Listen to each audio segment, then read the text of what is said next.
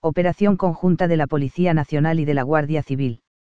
Golpe al narcotráfico con la mayor aprehensión de drogas sintéticas en la historia de España. Se han intervenido 827.000 pastillas de MDMA, 76 kilos de sulfato de anfetamina, 39,5 kilogramos de cristal, 217 litros de anfetamina líquida, 310 kilogramos de hachís, 89 kilogramos de marihuana, 2.000 dosis de LSD y 1,65 kilogramos de cocaína rosa. La investigación ha culminado con la detención de 11 personas de diferentes nacionalidades, incluyendo al jefe de la organización, y la desarticulación de la organización criminal con mayor potencial en la elaboración y tráfico de drogas sintéticas en la historia del narcotráfico en España. Disponían en Barcelona de dos laboratorios de producción de anfetamina, MDMA, metanfetamina y la conocida como cocaína rosa y un centro de almacenaje de la droga. Durante la fase de explotación, en uno de los registros, un integrante de la organización criminal disparó contra agentes de las unidades tácticas que asaltaron la vivienda en la que se encontraba. La droga que fabricaban tenía como destino abastecer el mercado negro en el arco mediterráneo español, comunidades autónomas de Andalucía, Islas Baleares, Valencia y Cataluña, donde la organización disponía de redes para su distribución. Esta actuación policial contra narcotráfico internacional ha supuesto ser la segunda aprehensión de éxtasis más importante de Europa en los últimos 20 años. 08 de enero de 2020 agentes de la Policía Nacional y de la Guardia Civil han desarrollado la operación La Transgirasol Muyberg, en la que han desarticulado la principal organización criminal internacional encargada de elaborar y suministrar la mayor parte de drogas sintéticas que se consumen en España, establecida en Cataluña, Andalucía e Ibiza. La investigación ha concluido con la mayor aprehensión de drogas sintéticas en la historia de España y ha permitido desmantelar dos laboratorios clandestinos donde se fabricaban las drogas para su posterior tráfico y distribución, tanto en el ámbito nacional como en el internacional. En total, se han intervenido 827.000 pastillas de MDMA, 200 kilogramos, 76 kilogramos de sulfato de anfetamina, 39,5 kilogramos de cristal, 217 litros de anfetamina líquida con una capacidad de producción de 738 kilogramos de sulfato de anfetamina, 310 kilogramos de hachís, 89 kilogramos de marihuana, 2.000 dosis de LSD y 1,65 kilogramos de cocaína rosa.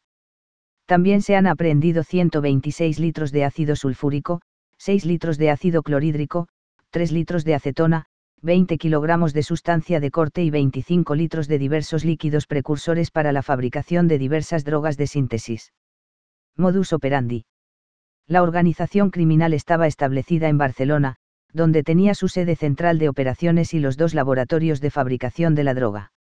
Desde la ciudad condal almacenaban la droga que llegaba de Holanda y también era el punto de inicio de su distribución por España para financiar o sufragar la droga sintética que procedía de Holanda tanto en formato pastillas MDMA como en anfetamina líquida para su fabricación en los laboratorios clandestinos de Barcelona enviaban grandes cantidades de hachís y marihuana, procedentes de Málaga y de Barcelona, para su posterior venta en Holanda y en el Reino Unido. El hachís y la marihuana la transportaban en transformadores eléctricos trifásicos manipulados, que eran enviados bajo la apariencia de mercancía lícita con coches clásicos. Estos transformadores disponían en su interior de un doble fondo con capacidad para trasladar cientos de kilogramos de droga por viaje y estaban dotados de un sofisticado sistema de apertura eléctrico hidráulico ideado para imposibilitar su descubrimiento y asegurar la ocultación de la droga. Una vez entregados en Holanda los fardos de hachís o las bolsas envasadas al vacío con marihuana, aprovechaban el viaje de vuelta de esos mismos transformadores para transportar la droga sintética a España.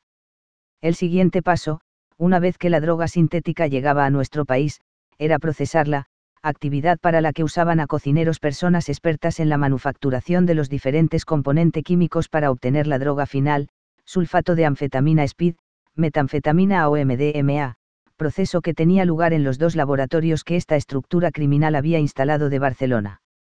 Sus redes principales para el tráfico de las diferentes sustancias se localizaban en Ibiza, Málaga y Barcelona, donde la organización contaba con viviendas logísticas desde las que distribuían la droga por España usando para este objetivo coches de alquiler y vehículos con doble fondo, con los cuales podían mover la sustancia estupefaciente sintética sin ser detectados.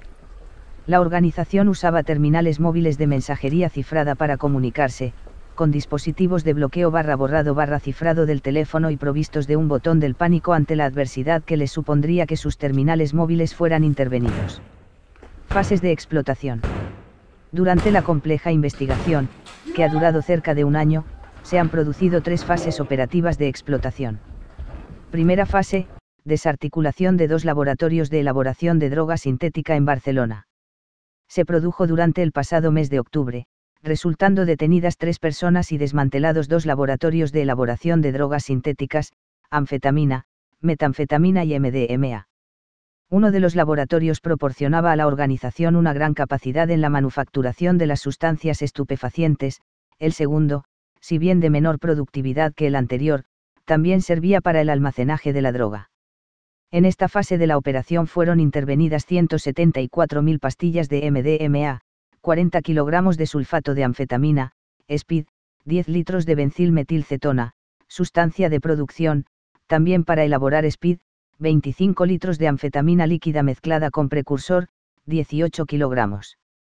De sustancia de corte, lidocaína, cafeína, levamisol, diferentes ácidos para su elaboración, ácido clorhídrico y sulfúrico, así como material para la elaboración, envasado y pesado de la droga, dinero en metálico y terminales móviles junto con su dispositivo de cifrado y una motocicleta. Segunda fase, desarticulación del sistema de distribución de droga a Holanda. Esta segunda fase tuvo lugar a mediados de noviembre de 2020. Entonces se detuvo a una persona y se desmanteló el sistema de transporte de marihuana y hachís a Holanda. A raíz de la desarticulación de los laboratorios, los investigadores averiguaron que la cúspide de la organización se iba a trasladar a la provincia de Málaga, ciudad donde disponían de infraestructura con el objetivo de evitar ser detectados. Trasladado el equipo de investigación a Málaga, se descubrió un posible envío de sustancia estupefaciente desde la provincia Málaga Holanda, transportado en un camión como posible mercancía lícita y con carta de porte CMR. Los agentes decidieron monitorizar la ruta del camión hasta la frontera de Irún con Francia, donde se estableció un dispositivo de inspección del vehículo y mediante el que se descubre que transportaba dos coches clásicos además de dos transformadores eléctricos trifásicos. Estos transformadores disponían de un doble fondo con un sistema de apertura eléctrico hidráulico que ocultaba en su interior 310 kilogramos. De fardos de hachís y 89 kilogramos. De marihuana envasada al vacío. Tercera fase, conclusión objetivos de la operación. A finales del pasado mes de noviembre se realizaron 10 registros, cinco de ellos simultáneos, en las provincias de Málaga, Barcelona e Ibiza. Se detuvo a nueve personas en estas ciudades, todo el escalón intermedio de la organización, así como al máximo responsable de esta, un ciudadano holandés. En esta última fase también se desmanteló el almacén principal de la organización, localizado en Barcelona, donde se intervinieron 651.000 pastillas de MDMA, éxtasis, 35,242 kilogramos. De sulfato de anfetamina, SPID, 2000 dosis de LSD, dieltilamida ácida lisérgico, 39,5 kilogramos. De cristal, metanfetamina, 180 litros de anfetamina líquida de gran pureza, 1,3 kilogramos. De sustancia de corte, lidocaína, cafeína, levamisol, 1,650 kg.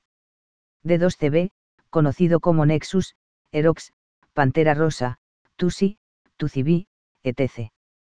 En los registros en viviendas y ubicaciones logísticas de la organización fueron intervenidas dos armas de fuego, un revólver y una pistola semiautomática, dos granadas de mortero, un machete, ordenadores, teléfonos encriptados con sus dispositivos de cifrado de mensajería, cinco vehículos y tres embarcaciones de recreo-dos motos de agua y un barco.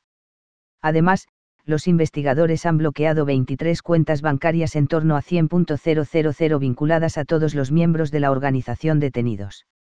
Resultado de la operación.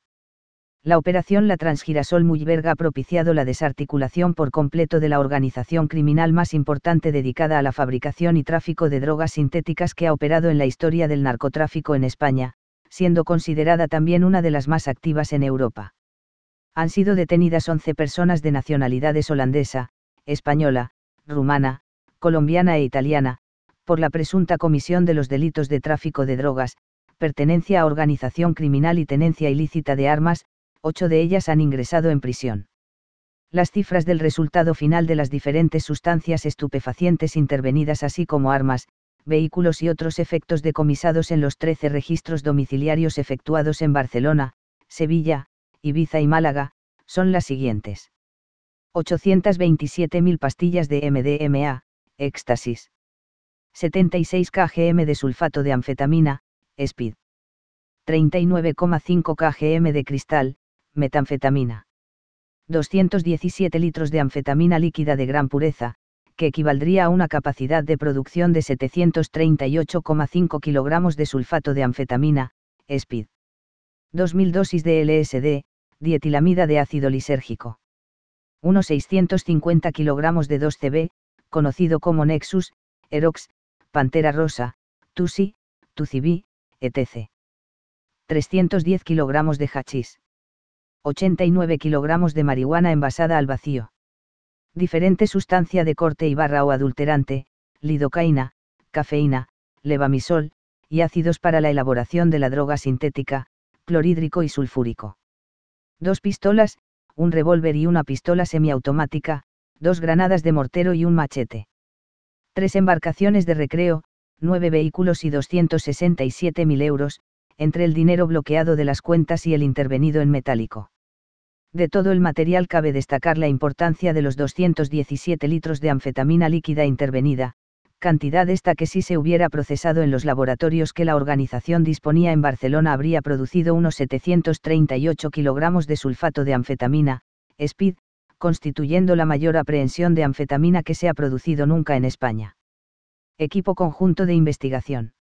Ambos cuerpos policiales tenían coincidencias con investigaciones en torno al tráfico de drogas sintéticas, motivo por el que se fusionó la información aunando esfuerzos y constituyéndose un equipo conjunto de trabajo formado por agentes del grupo y de la sección de estupefacientes de la Jefatura Superior de la Policía Nacional de Cataluña, de la Unidad Orgánica de Policía Judicial, UOPJ, de la Comandancia de la Guardia Civil de Barcelona, de la sección de estupefacientes de la UDICO Central de la Comisaría General de Policía Judicial de la Policía Nacional y del Equipo de Crimen Organizado, ECO, de la Unidad Central Operativa de la Guardia Civil con base en Málaga, unidades policiales que han sido coordinadas por el CICO, Centro de Inteligencia contra el Terrorismo y Crimen Organizado.